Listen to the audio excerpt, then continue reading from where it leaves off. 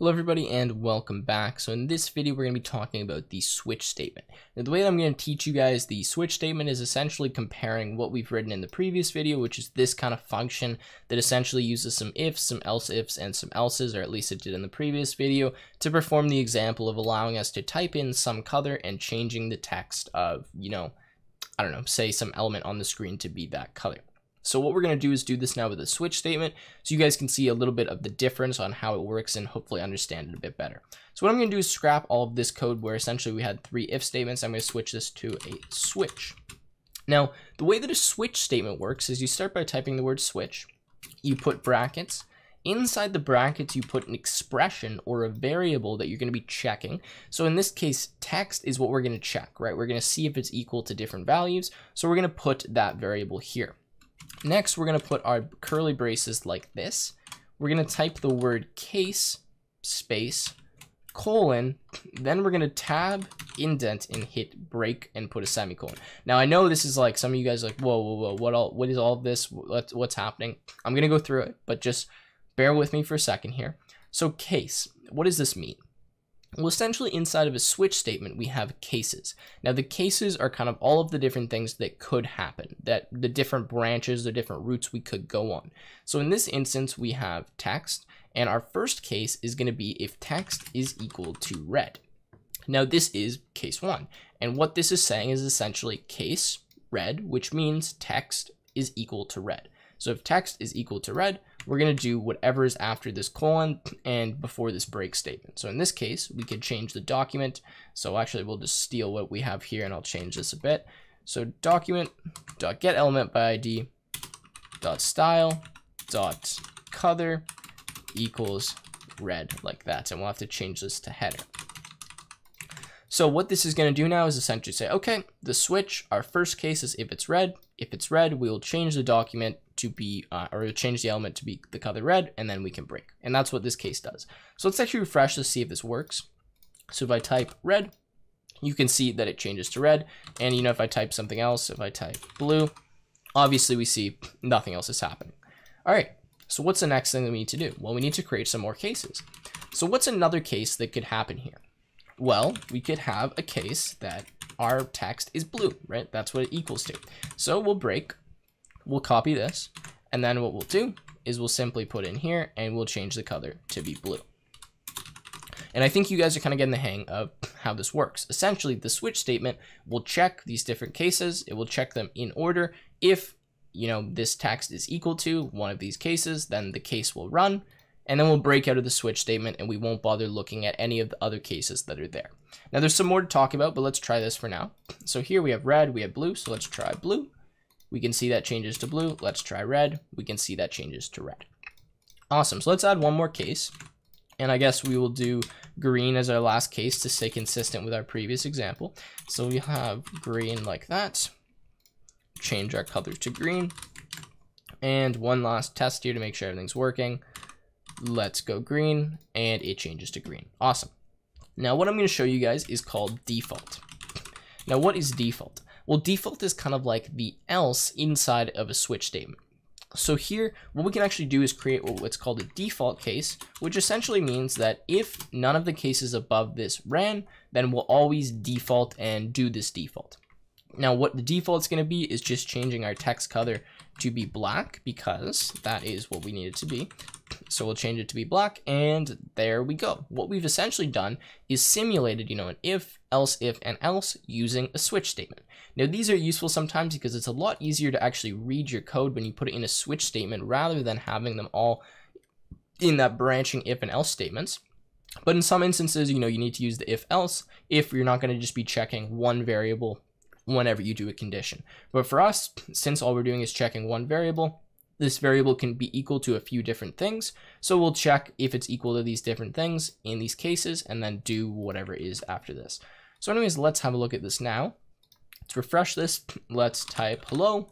We can see the text doesn't change. Let's go green. Oops, if I could get in here. Green, it changes to green. If I type nothing and I click click, it'll go back to black. So that is how the switch statement works. And that is, you know, a good example of when we would use a switch statement.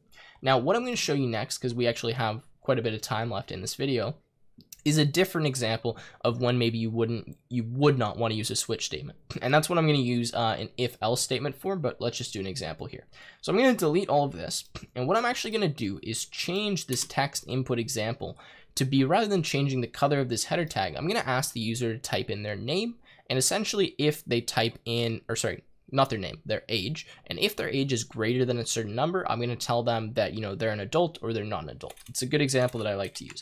So in this case, I'll say, what is your age? Just a little header before our input box. They can type it in here. When they click clicked, we'll run this pressed function and we can see what their age is. So what I'm going to actually do is make another text input here. So I'm just going to say p slash p. I'm just going to say id equals um, output. And what I'm going to do is say var. Hmm, actually, do I want to do this? Yeah, sure. Let's say var output equals document dot get element by ID. And here I'm going to call this output. And what this is going to allow me to do is actually change the output tag here by just referencing the variable output rather than typing this entire thing whenever I want to change it. So what I'm going to do now is I'm going to put an if statement. And remember that this function is going to run whenever this user clicks the click button. So in this instance, we're going to grab the text, which should hopefully be the user's um, what do you call it, age. And what I'm going to do is try to convert that age into a number so that I can compare it against another number. Now you'll see how that works. So what I'm going to do in here is I'm actually going to try to convert whatever it is the user types in into a number. Now the reason I need to do that is because whenever the user types something in a text input box, so like a text field, it's assumed that the data type that comes in is a string. So we know what a string looks like, and the strings have those quotation marks. And we remember from previously, and actually I'll do it down here, if I compare something with quotation marks to something, say like that, so 42 like that, and I use my uh, three equal signs, we're going to get the false value for that, right? And I'd like to be able to use the greater than sign and the less than sign between these different values so I can compare whatever the user types in to whatever number I'm going to compare it to. So in this case, 18 to see if they're an adult. So to do that, I need to convert this to a number. So to do that, I'm actually going to use a function called parse int. What this is going to do is simply take the integer value of whatever string we typed in and just return that to us, just give that to us. So this will say var text equals the number of whatever string we typed in, and this will convert that to a number. Okay, so what I'm going to do is compare the text to some number. In this case, I'm going to say 18. So if text is greater than or equal to 18, so if their age is greater than or equal to 18, what I'm going to do is change this output text to say you are an adult. So to do that, I'm going to say output, which is the variable here that's holding a reference to this p tag, so this um, paragraph tag. I'm going to say dot inner HTML equals, and in this case, you are older than 18, exclamation point. Next, what I'm going to do is essentially say if this is not true, we'll change this output text to say you are not older than 18. And let's run this and see if this works. So refresh, what is your age? Let's say 18. Click, you are older than 18. What if I say 17? You get you are not older than 18. Now notice that this one is kind of misleading. It says you are older than 18, but you could actually be 18. So what we should do is change this so that we have one that says if you're 18, right? So let's say else if text equals equals 18. Then what we'll do is, and I gotta get rid of that actually and add one here. Uh, is we'll just simply add this output text and we'll say you are 18 like that.